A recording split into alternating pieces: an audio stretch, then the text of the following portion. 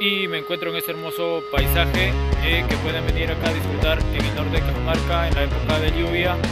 en el momento que ustedes deseen y adelante con el ecoturismo en el Perú.